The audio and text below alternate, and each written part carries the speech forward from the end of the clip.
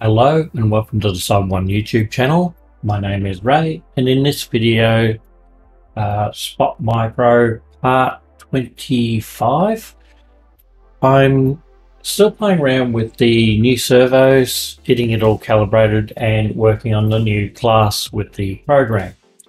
So I just thought I'll give you a bit of an update on where I'm at. So you can see in my picture in picture, I've got Spot Micro sitting on my desk it's currently in the rest position. And I've got MyRobotLab in the background. So if I go to the Python screen, um, you can see here I've got a, a rest.py. Now this is not saved anywhere, it's just on the computer, but I do have a gesture called rest. So I'm just calling that gesture. Now to give you an idea of what's in that gesture, see if I can get it up here.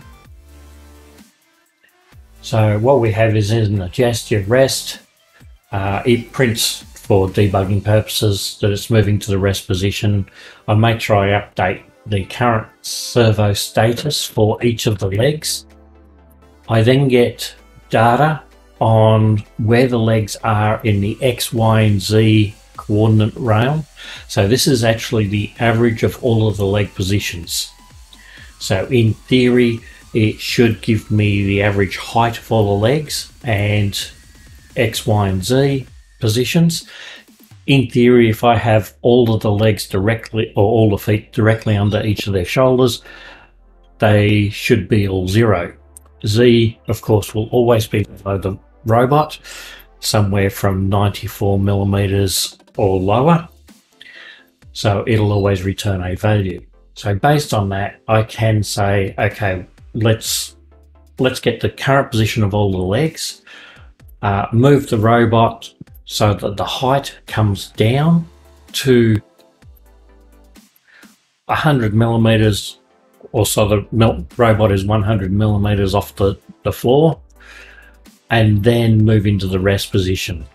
When these servos are very fast compared to the last lot I had in them. And when it moves into that rest position, it's actually quite violent in the way it does it.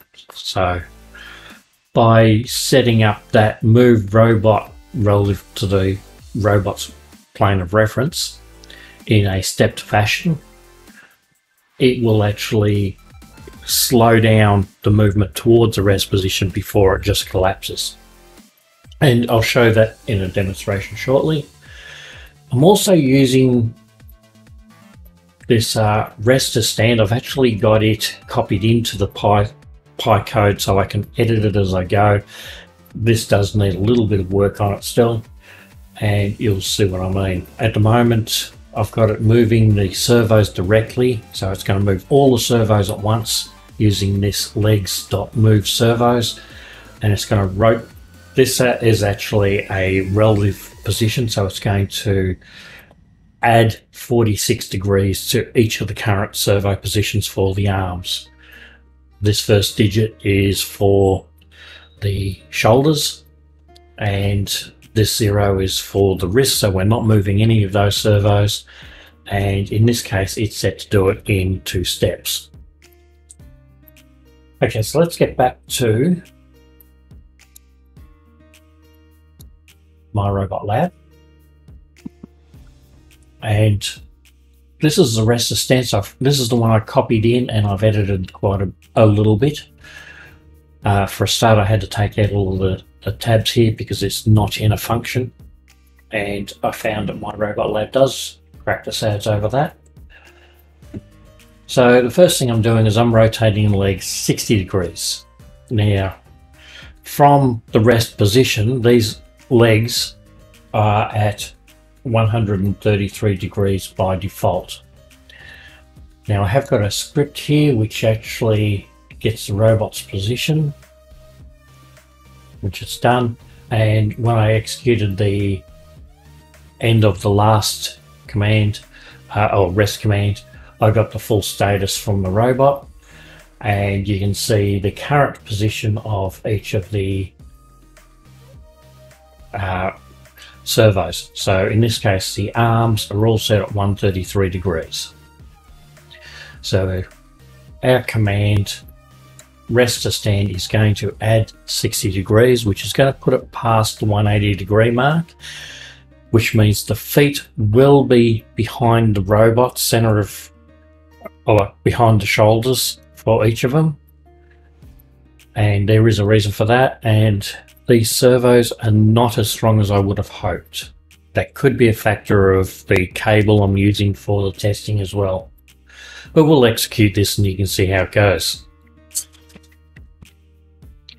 So the back leg is currently drawing 6.4 amps and I can actually bring that up. So you can see here it's spiked up very high and then come down. And I think that's where half of my battle is. Now, all this weight is currently resting on this servo here and the matching one at the back. And those servos are starting to warm up. The current did draw drop down to 2.8. So there's a lot of springiness in those servos. They're not as strong as I would like. There's a bit of warmth starting to show up in these back ones in particular, where all the weight ends up, and that can melt the plastic in the uh, the legs. I've actually run into that before, where I've melted the legs because the servo was carrying far too much load and eventually burnt out. So trying to work out how to get around this problem of the lack of strength in the servos. I can up the voltage a little bit more and see if I can get some more voltage through.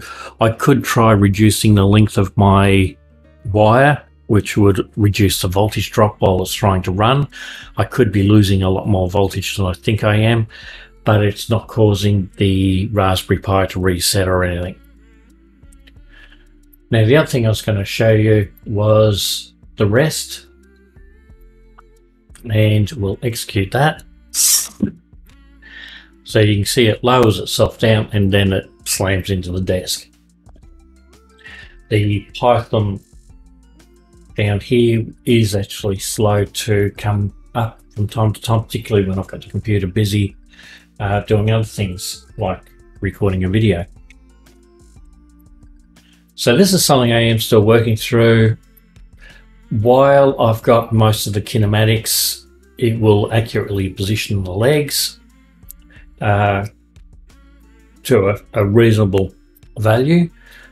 I am having trouble where I can get quite a bit of movement out of these servos uh, against against the servos when they're uh, moving or they can't drive into the correct position.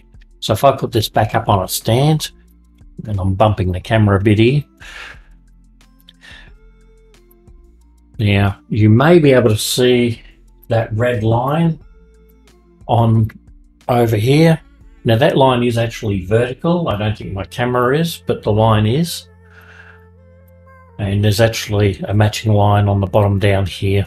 And that's coming from my laser level. So if I actually tell this to stand, if I click in the right spot,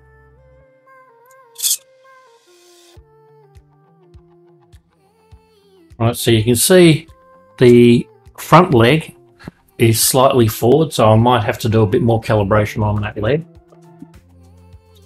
But if I move to this back leg, oops. So this is our pivot point for the shoulder just here. And we've got our crosshair on the back foot dead on. So that one is actually calibrated quite well. I've actually gone to a lot more trouble on the back ones to make sure they are calibrated. Uh, the problem is the robot is of the belief that that foot is four and a half mil further back. And it makes its moves, or the planning for those moves is based on where it believes the feet are. So at the moment, it believes the foot is actually back here by about four and a half, nearly five mil. And there is actually that much slop in this. which makes calibrating it a little more difficult. There is, that's a lot of movement to have in the leg when you're trying to balance the robot. The robot has got a little bit of weight to it. Um, I think it's around three, four kilo. And that's a fair amount of weight to be carried on those servos. So I do know the lengths of these, uh, the arms and their throws, since I've measured and calculated them all out. Uh, and I can calculate the torque that's on those servos and I do think I'm getting up close to their limit. So we may have to completely redesign the shoulders and joints, uh, all the joints and the way they work so that we can get a, a better run at it. The 35 kilo servos I had been using and that's these ones. If I can get that up.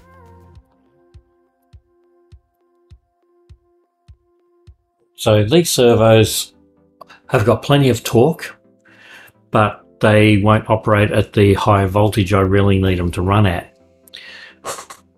So I'm going to have, at the moment it's a compromise. I'm running slightly lower torque uh, servos. They're rated at closer to 20 kilo as opposed to 35 and it is impacting the accuracy of it.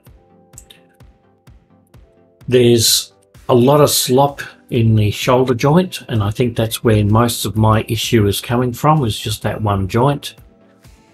I'm really not sure how I'm going to fix that yet. There is a little bit of slop within the shoulder but not much. It's all in this the arm joint because it's not supported. The front one's not as bad because it has got the additional support over the top.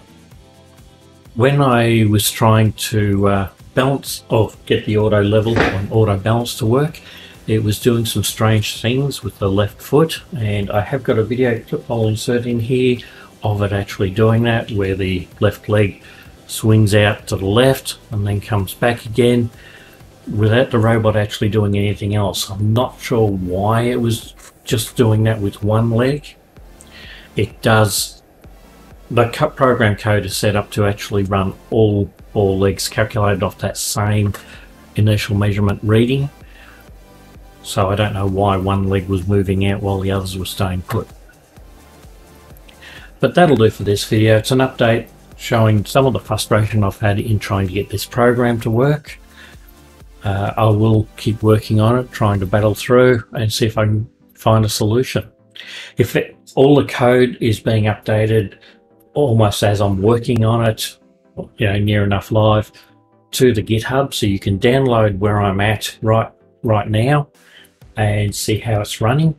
If you're working on the bleeding edge of the program as well, uh, which is much further ahead than most of the videos are, you can talk to me in Discord. Uh, you might have an idea that is far better than what I've got going at the moment and yeah, we'll try it. If if uh, it helps, you can also do a video chat in the Discord, and we can naturally see if we can't figure out what's going on. I think a lot of the issue I'm having at the moment is that the while I'm sending the servos to a position, I don't think they're quite making it there, and that's causing me uh, errors so the robot falling over backwards when it's trying to get up is because the servos didn't quite get to where they should be and the back legs were too far forward as a result causing the robot to fall over backwards. I have it have had it turn off its power a couple of times doing that when it falls over onto its back, normally when I've got it on the floor. And I've had it on the floor because it's not as far to fall if it rolls. That'll do for this video. If you like these videos, don't forget to click on like, subscribe, and ring that notification bell. It's a form of support that helps the channel a great deal and costs you absolutely nothing. If you'd like to help the channel further, I do have a Patreon account and you can join my patrons Go Lucky, Elmorales45 and White Wolf in supporting the channel. The link for the Discord is down in the description. By all means, come in and ask questions uh, make comments. I do actually read all of the comments on my Discord, and I also read all the comments on the YouTube videos as well. And we'll see you in the next video.